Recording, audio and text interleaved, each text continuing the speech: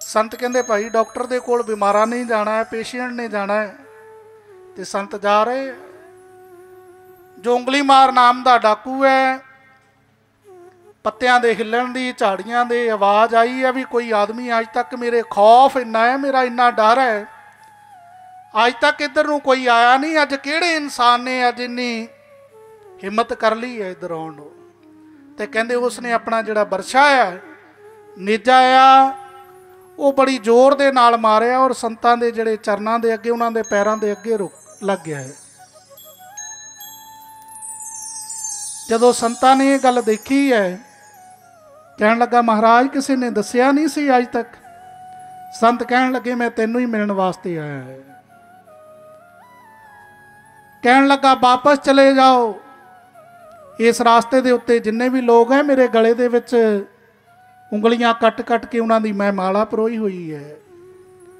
ਸੰਤ ਕਹਿਣ ਲੱਗੇ, ਕੋਈ ਗੱਲ ਨਹੀਂ ਹੈ। ਜਦੋਂ ਉਸਨੇ ਆਪਣੀ ਜੋ ਉਹਦੇ ਹੱਥ ਦੇ ਵਿੱਚ ਦਾਤੀ ਹੈ, ਮਾਰਨ ਵਾਸਤੇ ਚੱਕੀ ਹੈ ਤੇ ਸੰਤ ਕਹਿਣ ਲੱਗੇ, ਮੇਰੀਆਂ ਉਂਗਲੀਆਂ ਚਾਹੇ ਸਾਰੀਆਂ ਕੱਟ ਲਈਆਂ, ਇੱਕ ਛੋਟਾ ਜਿਹਾ ਕੰਮ ਕਰਨਾ ਹੈ। ਕਹਿਣ ਲੱਗੇ, ਕੀ? ਕਹਿਣ ਲੱਗੇ, ਤੇਰੇ ਕੋਲ ਇੱਕ ਪੇੜ ਲੱਗਾ ਹੋਇਆ ਇਹਦਾ ਇੱਕ ਪੱਤਾ ਤੋੜ ਕੇ ਮੈਨੂੰ ਦੇ ਦੇ। ਕਹਿਣ ਲੱਗੇ, ਬੜਾ ਆਸਾਨ ਕੰਮ ਹੈ, ਬੜਾ ਸਧਾਰਨ ਜਿਹਾ ਕੰਮ ਹੈ। ਪੱਤਾ ਤੋੜਿਆ ਹੈ ਔਰ ਸੰਤਾਂ ਨੂੰ ਦੇ ਦਿੱਤਾ ਹੈ। ਤੇ ਜਦੋਂ ਪੱਤਾ ਤੋੜ ਕੇ ਦੇ ਦਿੱਤਾ ਹੈ, ਫਿਰ ਮਾਰਨ ਵਾਸਤੇ ਕੁਲਾੜੀ ਚੱਕੀ ਹੈ। ਸੰਤ ਕਹਿਣ ਲੱਗੇ, ਇੱਕ ਵਾਰ ਫਿਰ ਇੱਕ ਛੋਟਾ ਜਿਹਾ ਕੰਮ ਹੋਰ ਹੈ। ਕਹਿੰਦੇ, ਕੀ ਹੈ? ਕਹਿੰਦੇ ਜੇ ਇਸ ਪੇੜ ਦੇ ਨਾਲੋਂ ਇਹ ਪੱਤੇ ਨੂੰ ਤੋੜਿਆ ਆ, ਦੁਬਾਰਾ ਉਸ ਦੇ ਨਾਲ ਹੀ ਜੋੜ ਦੇ। ਕਹਿਣ ਲੱਗਾ, ਐਸਾ ਨਹੀਂ ਕਰ ਸਕਦਾ ਮੈਂ। ਕਹਿੰਦਾ, ਕਿਉਂ? ਕਹਿੰਦਾ ਤੋੜ ਸਕਦਾ ਇਹਨੂੰ ਜੋੜ ਨਹੀਂ ਸਕਦਾ। ਸੰਤ ਕਹਿੰਦੇ ਤੋੜ ਤਾਂ ਕੋਈ ਸਧਾਰਨ ਬੰਦਾ ਵੀ ਸਕਦਾ ਹੈ। ਮੂਰਖ ਬੰਦਾ ਵੀ ਤੋੜ ਸਕਦਾ ਹੈ। ਬੱਚਾ ਵੀ ਤੋੜ ਸਕਦਾ ਹੈ। ਤੋੜਨ ਵਾਲਾ ਮਹਾਨ ਨਹੀਂ ਜੋੜਨ ਵਾਲਾ ਮਹਾਨ ਹੈ। ਸਤਿਗੁਰੂ ਰਵਿਦਾਸ ਮਹਾਰਾਜ ਕੀ ਜੈ। ਸਤਿਗੁਰੂ ਰਵਿਦਾਸ ਜੀ ਮਹਾਰਾਜ ਅੱਜ ਦੁਨੀਆ ਦੇ ਵਿੱਚੋਂ ਸੰਤਾਂ ਦੇ ਵਿੱਚੋਂ ਸੰਤ ਸ਼੍ਰੋਮਣੀ ਦਾ ਖਿਤਾਬ ਮਿਲਿਆ ਹੈ। ਚਾਰੇ ਵਰਨਾਂ ਦੇ ਲੋਕ ਉਸ ਟਾਈਮ ਦੇ ਵੀ ਰਾਜੇ ਮਹਾਰਾਜੇ ਝੁਕਦੇ ਐ।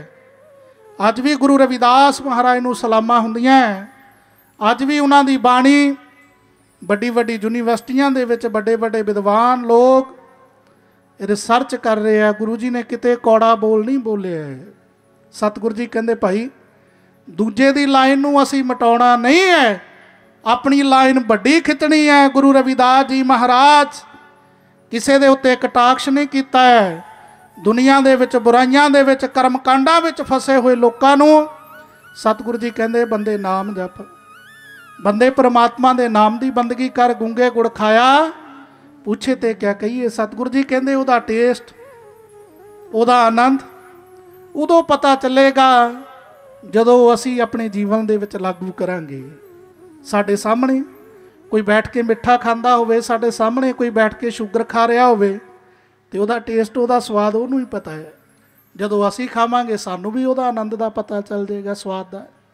ਤੇ ਸਤਿਗੁਰੂ ਜੀ ਕਹਿੰਦੇ, ਬੰਦੇ, ਪਰਮਾਤਮਾ ਨੇ ਤੈਨੂੰ ਅਮੋਲਕ ਜੀਵਨ ਬਖਸ਼ਿਸ਼ ਕੀਤਾ ਹੈ, ਤੇ ਆਓ ਗੁਰੂ ਪਿਆਰਿਓ, ਅੱਜ ਹਰ ਆਦਮੀ ਸਟ੍ਰੈਸ ਵਿੱਚ ਹੈ, ਚਿੰਤਾ ਵਿੱਚ ਹੈ, ਘਬਰਾਹਟ ਵਿੱਚ ਹੈ ਉਥਲ ਪੁਥਲ ਹੈ ਲਾਈਫ ਦੇ ਵਿੱਚ।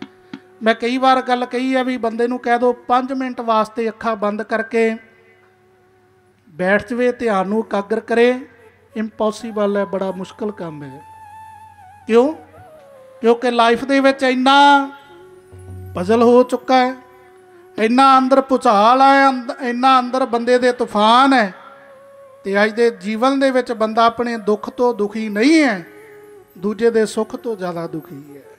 ਤੇ ਆਓ ਸਤਿਗੁਰੂ ਜੀ ਕਹਿੰਦੇ ਅਗਰ ਸੁੱਖ ਚਾਹਨਾ ਹੈ ਜੀਵਨ ਦੇ ਵਿੱਚ ਆਪਣੀ ਲਾਈਫ ਨੂੰ ਈਜ਼ੀ ਕਰਨਾ ਚਾਹਨਾ ਹੈ ਅਗਰ ਜੀਵਨ ਦੇ ਵਿੱਚ ਸਕੂਨ ਚਾਹਨਾ ਹੈ ਬੇਗਮਪੁਰਾ ਸ਼ਹਿਰ ਕੋ ਨਾਓ ਦੁੱਖ ਅੰਦੋਹ ਨਹੀਂ ਤੈ ਠਾਓ। ਗੁਰੂ ਰਵਿਦਾਸ ਜੀ ਮਹਾਰਾਜ ਦੁਨੀਆ ਦੇ ਕੇਵਲ ਔਰ ਕੇਵਲ ਗੁਰੂ ਰਵਿਦਾਸ ਜੀ ਮਹਾਰਾਜ ਦੁਨੀਆ ਦੇ ਪਹਿਲੇ ਸੰਤ ਹੋਏ ਹੈ ਜਿਨ੍ਹਾਂ ਨੇ ਕੇਵਲ ਗੁਰੂ ਰਵਿਦਾਸ ਮਹਾਰਾਜ ਦੀ ਪਾਵਨ ਬਾਣੀ ਵਿੱਚ ਸਤਿਗੁਰੂ ਜੀ ਨੇ ਬੇਗਮਪੁਰਾ ਸ਼ਹਿਰ ਦੀ ਗੱਲ ਕੀਤੀ ਹੈ ਜਿੱਥੇ ਬੇਗਮ ਜਿੱਥੇ ਕਿਸੇ ਪ੍ਰਕਾਰ ਦਾ ਕੋਈ ਗਮ ਨਹੀਂ ਹੈ, ਜਿੱਥੇ ਕਿਸੇ ਪ੍ਰਕਾਰ ਦੀ ਕੋਈ ਚਿੰਤਾ ਨਹੀਂ ਹੈ, ਜਿੱਥੇ ਕਿਸੇ ਪ੍ਰਕਾਰ ਦੀ ਕੋਈ ਘਬਰਾਹਟ ਨਹੀਂ ਹੈ, ਤੇ ਆਓ ਗੁਰੂ ਪਿਆਰੀ ਸਾਧ ਸੰਗਤ ਜੀ, ਅਗਰ ਅਸੀਂ ਵੀ ਚਾਹੁੰਦੇ ਹਾਂ ਬੇਗਮਪੁਰਾ ਸ਼ਹਿਰ ਦੇ ਵਾਸੀ ਬਣਨਾ, ਤੇ ਗੱਲਾਂ ਦੇ ਨਾਲ ਨਹੀਂ ਬਾਹਰੀ ਹਲਚਲ ਨਾਲ ਨਹੀਂ